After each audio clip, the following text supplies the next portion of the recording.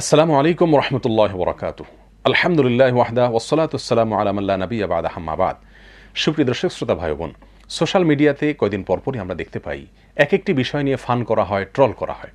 যেমন, বেশ কিছুদিন আগে আমরা দেখতে পেয়েছি, একদিন তো মরেই যাব, কি আর হবে অমুক কাজ করে, তমুক কাজ করে, ইত্যাদি ইত্যাদি। এ ধরনের কথা বলে এক শ্রেণির যুবক, যুবতী ভাইয়েরা মজা করতেন, ফান করতেন। গত কয়েকদিন ধরে আমরা দেখতে পাচ্ছি যে, সোশ্যাল মিডিয়াতে ফেস অ্যাপ নামে একটা অ্যাপসের মাধ্যমে নিজের চেহারাকে বিকৃত করে বৃদ্ধ বয়স আমাকে দেখতে কেমন দেখাবে, সেই বিকৃত চেহারাটাকে এই অ্যাপসের মাধ্যমে সৃষ্টি করে, তৈরি করে সেটাকে অনলাইনে সোশ্যাল মিডিয়াতে প্রচার করছেন, নিজেরা দেখে মজা নিচ্ছেন এবং ফান করছেন। এই যে একটা অ্যাক্টিভিটি, এটাকে ইসলাম তথা ইসলামী শরিয়া কীভাবে দেখে, আজ আমরা সে বিষয়ে কয়েকটি কথা বলতে চাই। প্রথম কথা হলো, কোরআনে করিমের সুরায় রোমে ত্রিশ নম্বর আয়াত আল্লাহ সুমাতাল ইরশাদ করেছেন লাহ তাবদিল আলী খালকিল্লাহ। আল্লাহর সৃষ্টিতে কোনোরূপ পরিবর্তন পরিবর্তন এবং বিকৃতি করা যাবে না, এটা কোনোভাবেই গ্রহণযোগ্য নয়। আল্লাহ সুমাতালা সুরা নিসার একশত উনিশ নম্বর আয়াতে বিতাড়িত শয়তানের কয়েকটি প্রতিজ্ঞার কথা উল্লেখ করেছেন। বনি আদম তার শত্রু। সে বনি আদমকে জাহান্নামি করবার জন্য তার কয়েকটি ষড়যন্ত্রের কথা উল্লেখ করেছে এই আয়াতে এবং তার আগের আয়াতে, পরের আয়াতে। সে প্রসঙ্গে শয়তান একটা পর্যায়ে বলেছে ওলা আমুরান্নাহম ফলাইরুন্না খালকাল্লাহ। আমি কিছু মানুষকে নির্দেশ করব। আমার নির্দেশে তারা আল্লাহর সৃষ্টিতে বিকৃতি সাধন করবে, পরিবর্তন সাধন করবে। এ আয়াতে যদিও বেশিরভাগ মুফাসসিরদের মতে পশুর ভেতরে এক ধরনের বিকৃতি সাধন করার কথা ইঙ্গিত করা হয়েছে। কিন্তু হাসান বসির রহমাহুল্লার মতে, এখানে ওয়াসাম বোঝানো হয়েছে, অর্থাৎ মানুষের নিজের শরীরে, নিজের চেহারাতে, নিজের ত্বকে এক ধরনের বিকৃতি সাধন করার কথা বলা হয়েছে।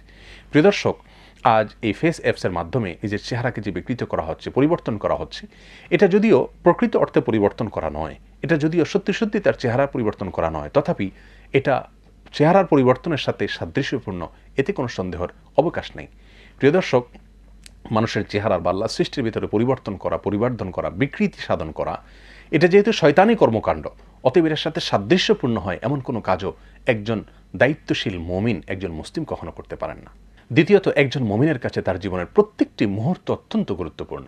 একজন মমিন, তার বিশ্বাস যদি থাকে যে তাকে আখেরাতে আল্লাহর মুখোমুখি হতে হবে, আল্লাহর কাছে জবাবদি করতে হবে তার যৌবনকালের প্রতিটা মুহূর্ত সম্পর্কে, তাহলে তার জীবন নিয়ে খেল তামাশা করা, তার জীবন নিয়ে দুষ্টমি করা এটা কোনো অবস্থাতেই একজন মমিনের জন্য মানানসই হতে পারে না। বরং একজন মমিন তো মনে করবে যে আমার জীবনে সবচেয়ে গুরুত্বপূর্ণ বিষয় হলো যে আমি আমার এই যৌবনকাল দিয়ে জান্নাত কামাচ্ছি নাকি জাহান্নামকে আমার নিজের গন্তব্য করছি। প্রিয় দর্শক, একজন মমিন যার আখেরাতের প্রতি বিশ্বাস আছে, সে তার জীবন নিয়ে সিরিয়াস হওয়ার কথা, সে তার জীবন নিয়ে ফান করার কথা নয়। আজ আমরা আখেরাতের প্রতি বিশ্বাস থেকে, আল্লাহর প্রতি ইমান থেকে, জান্নাত, জাহান্নামের প্রতি ইমান থেকে যে শত শত মাইল দূরে সরে যাচ্ছি, যোজন যোজন দূরে সরে যাচ্ছি, তার একটি বড় প্রমাণ হলো আমাদের এই জীবনের গুরুত্বপূর্ণ বিষয় নিয়ে আমরা ফান করছি, মজা করছি। প্রিয় দর্শক, ইহুদি নাসারারা যাই বানিয়ে দিচ্ছে, সেটাকে আমরা গোগ্রাসে গিলছি এবং কোনোটাকে ফান বলে প্রচার করলে আমরা সেটাকে ফান হিসাবে নিচ্ছি। প্রিয় দর্শক, একজন মমিন কখনো তার জীবন নিয়ে সিরিয়াস না হয়ে ফান করতে পারে না, দুষ্টমি করতে পারে না, মজা করতে পারে না। তৃতীয়ত কথা হলো আমরা কেউ জানি না বার্ধক্য পর্যন্ত আমরা আদৌ হায়াত পাবো কিনা।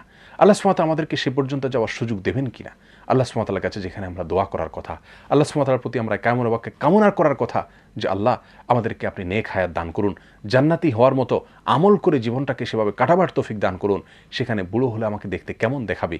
এই বিষয়টি নিয়ে কৌতূহলী হওয়া, ফান করা, দুষ্টমি করা এগুলো সবগুলোই আমাদের দায়িত্ব জ্ঞানহীনতার পরিচায়ক। এগুলো সবগুলোর প্রমাণ করে যে আমাদের চেতনা দিন দিন ভোতা হয়ে যাচ্ছে, ইমানে চেতনা আমাদের থেকে আস্তে আস্তে সরে যাচ্ছে।